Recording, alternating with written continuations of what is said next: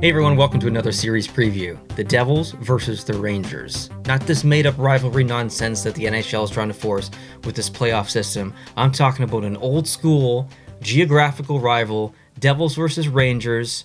Wow. We're going to approach this like we approached the other videos. We're going to look at some high level stats, just very broadly, give our opinions, and go from there. This is not going to be an in depth, methodical process.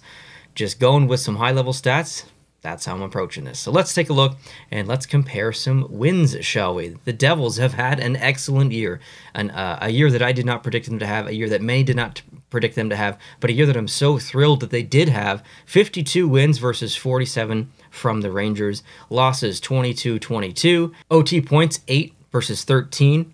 Goals for 291 for the Devils. They put the puck in the net a lot this year versus 277 for the Rangers. Goals against 226 for the Devils and an impressive 219 for the Rangers. Very good defensively this year.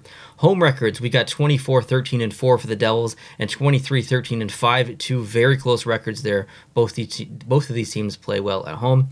And away, 28 9 and 4 for the Devils and 24 9 and 8 for the Rangers. So both of these teams actually have better road records than they do home records, which is very rare, very very rare. So uh, I kind of like that uh, bit of approach. It's going to be interesting to see how the home team does in this series as it goes on. And the Devils have home ice advantage, so we shall see. But the last 10, we've got the Devils going uh, 7 3 and 0, and then the Rangers going 5 2 and 3. So the Devils had the better record there. And, and the last two games they've won, the Devils did. That's their streak. And then the last game that the Rangers played, they lost. So they're on a losing streak of one as the season ended.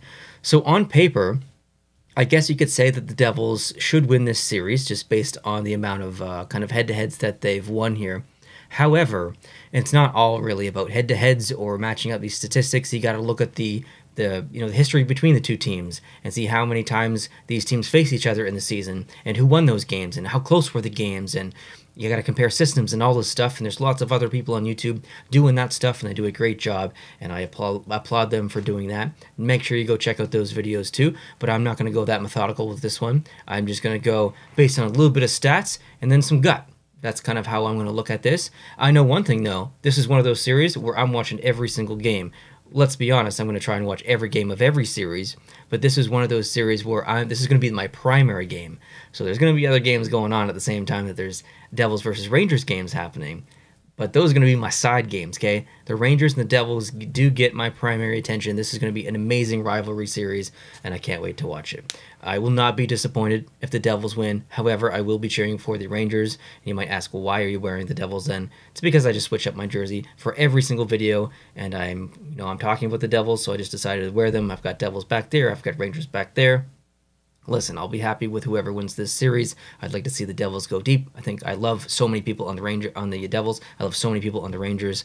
I kind of like both of these teams right now, but I will be cheering for the Rangers just mainly based on coach. It's my favorite coach in the NHL, and uh, yeah, so there you have it. It's going to be an amazing series. I hope that you guys can can watch it and let me know down below in the comment section who you think is going to win this series. Thank you so much for watching this quick video. I appreciate it. Lots more NHL playoff hockey talk coming soon on the channel and we gotta talk we gotta talk about so many things. So hope you can join me for those. Hit the subscribe button if you're new. All right we'll catch you in those future videos. Adios